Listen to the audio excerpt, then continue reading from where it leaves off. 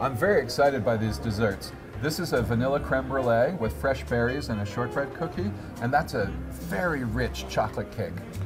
Well, you know, when you're tasting a group of beers, you usually go light to dark. So I'd like to start with the lighter one. I'm thinking just a little bit of the fruit mixed in with the creme brulee might be the perfect complement with the Hefeweizen. I agree. I think that you know this is probably the more unusual one to that that people in general would think about that pairing with beer. But I would say that you're spot on with the fruitiness. It's nice and nice and creamy vanilla sort of uh, uh, rounds out the, the fruitiness kind of combines with the banana of the uh, of the Hefeweizen. It's a really great combination.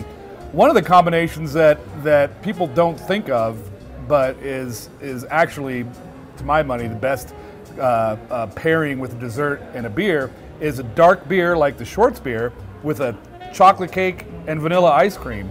The uh, the dark chocolate coffee character really uh, complements the the chocolate character of the chocolate cake, and it can be really sort of cleansing in a in a in a in a way like uh, uh, drinking coffee with ice cream or any dessert is uh, a, a wonderful combination.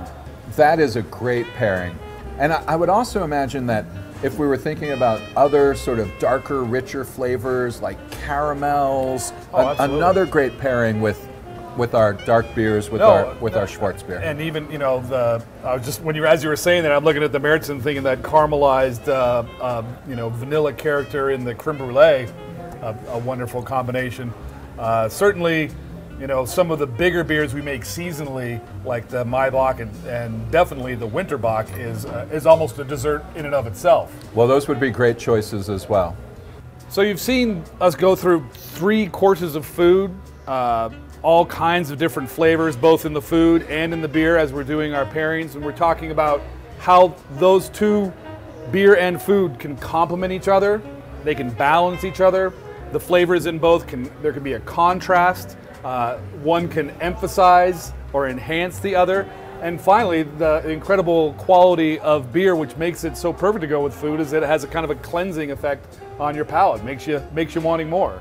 And that and that really is at, at, at the most basic level what makes food and beer great together, right? So the beer styles that relate to the flavors in the food, and then what is it that you're trying to achieve in that pairing?